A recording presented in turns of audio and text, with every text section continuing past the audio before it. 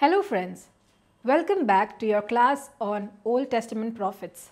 In the previous two lectures, we briefly looked at the structure of the Jewish canon, the office of a prophet and the historical background of the prophets and their books.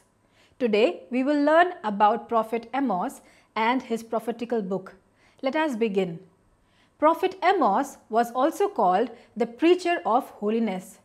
He was the first among the writing prophets of the 8th century. The Assyrian kingdom was rising and speedily becoming a world power with new and powerful kings taking up the throne. This was the time when Israel was very powerful and could not be easily challenged by the other nations. Though it was a time of peace and prosperity in Israel and Judah, but the internal gap between the rich and the poor, the noble and the simple was widening. The rich and the noble were becoming wealthier by exploiting the poor and the simple.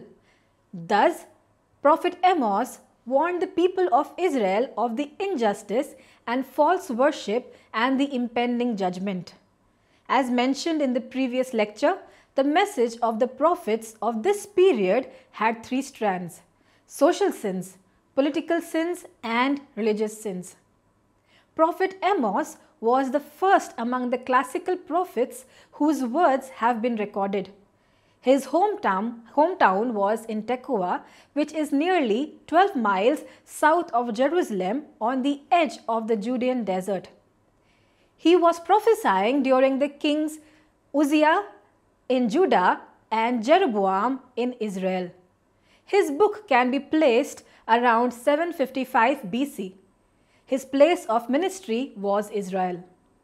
As he prophesied in Bethel, he was challenged by Amaziah, the priest of Bethel, who said, Get out, you seer, go back to the land of Judah, earn your bread from there, and do your prophesying there.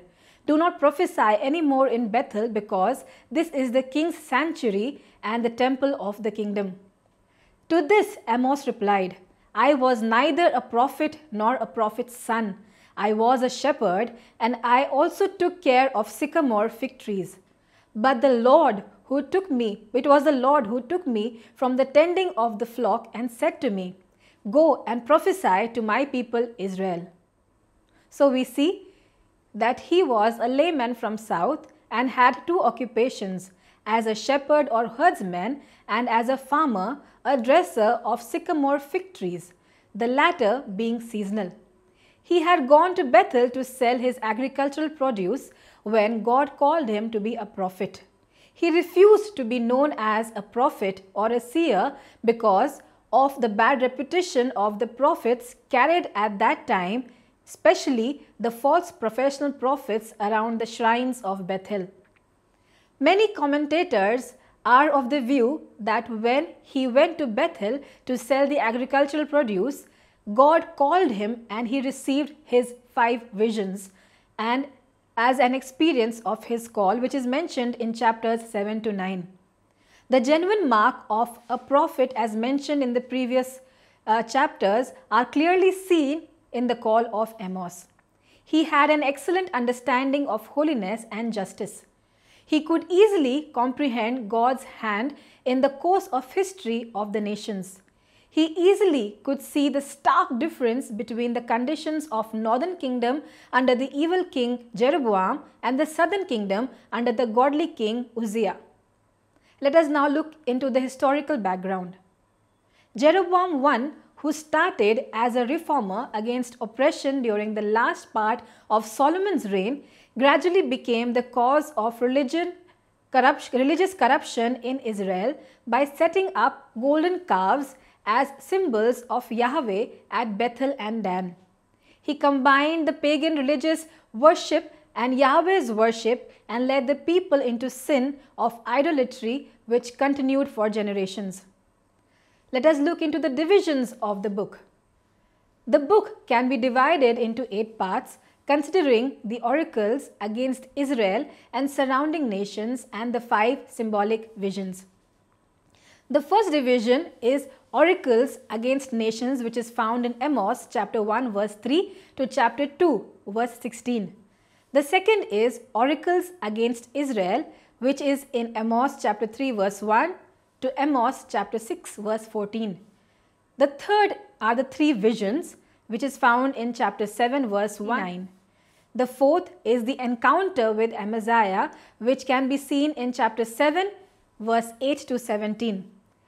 The next is the, four, the fourth vision, which is found in chapter 8 verse 1 to 3.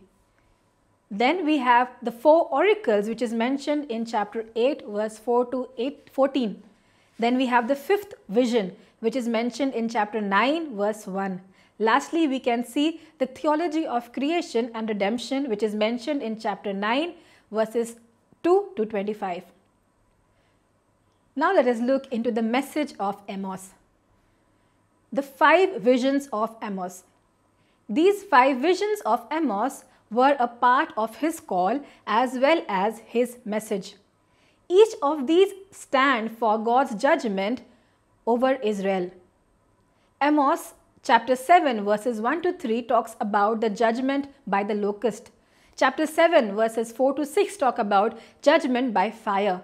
Chapter 7 verses 7 to 9 talk about a plumb line. Chapter 8 verses 1 to 3 talk about a basket of summer fruits and chapter 9 verses 1 to 4 talk about the Lord standing by the altar. The first two visions, both the first two visions of judgment by locust and fire speak about complete destruction. It was impossible to survive or escape them. The first is a natural calamity and the second is a supernatural disaster as a divine act of God. Amos intercedes for Jacob and God relents his mercy. He later says, neither, will, neither of this will happen. There will be no complete destruction. The third vision, as we see, Amos sees God holding a plumb line against a wall. God told Amos that he is setting a plumb line among the people of Israel and they cannot escape his judgment. This meant that following the sins of Jeroboam, the whole Israel has completely failed in her spiritual worship. Hence, all the high places, sanctuaries, and Jeroboam's house will be destroyed. The fourth vision was a basket full of summer fruits. It was a very familiar sight for Amos in regard with offerings brought in for the festival of booths. But here the vision had a different meaning. It meant that Israel was ripe with sin for a dreadful harvest. The fifth vision of the Lord standing by the altar was a very different vision.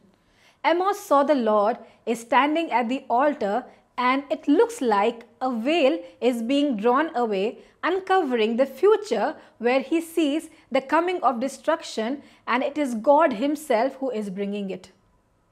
Now let us move to the eight oracles. In chapters 1 to 2, 1 and 2, Amos proclaims eight oracles of judgment against neighboring nations and Israel. God is shown as a roaring lion calling out destruction upon nations. The nations that are mentioned are Syria and Damascus, Philistine and Gaza, Tyre, Edom, the Ammonites, the Moabites, Judah, and lastly Israel.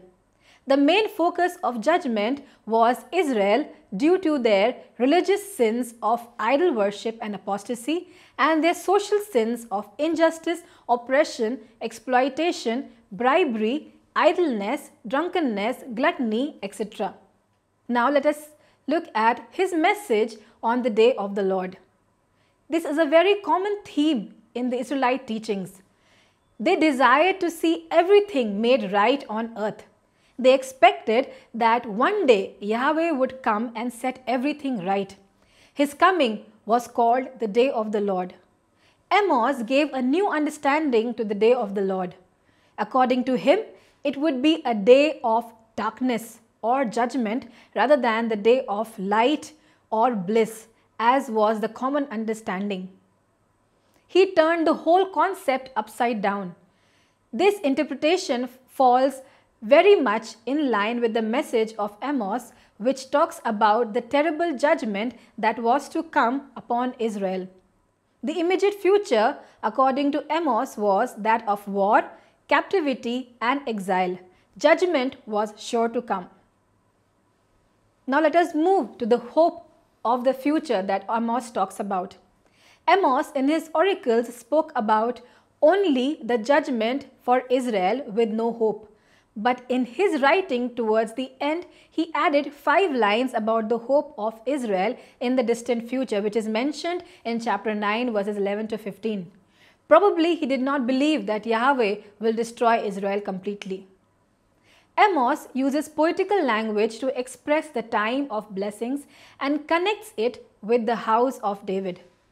This age is the messianic age because Messiah would reign. His reign would be characterized by prosperity because of the justice and the righteousness of Messiah. Amos chapter 9 verses 11 to 15 can be divided into two parts. Verses 11 and 12, the main theme is King and his kingdom. Verses 13 to 15, the main theme is life of liberty of the citizens within the kingdom. Now let us look into the theology of Amos. Firstly, Amos sees Yahweh as the creator and the controller of everything. Amos was not a reformer, but he was a Jew who grew up learning Torah, believing Yahweh to be the creator of everything. In chapter 4, verse 12 to 13, we read that Amos points out towards the mighty powers of God and warns the Israelites, saying that his power still prevails and always will. It is not only limited to the past. He controls the events of the world and the disasters brought by nature. His first two visions talk about complete destruction by the locusts and fire. The second view of God by Amos was that Yahweh is the judge of all nations. This is seen in the eight oracles spoken by Amos. Judgment concerns not only Israel and Judah but all the other nations also. He is the one and omnipotent ruler. The rise and the fall of nations is dependent upon him. Hence, his ethics, righteousness, and justice should be followed by all the nations. The third is Israel shares a personal relationship with Yahweh as his chosen people. Israel is God's chosen possession, his elected people, privileged by God. Hence, they hold an equally important responsibility greater than the other nations. God had revealed his character and his purpose to them in much vivid manner. The Israelites were happy to accept the privileges but not the responsibilities that came along. Thus, they will be judged even if they do not believe it. Amos severely criticized them for imitating Canaanite practices. This is all on the book of Amos. We will soon meet in the next class with the prophetic book of Hosea. Bye for now.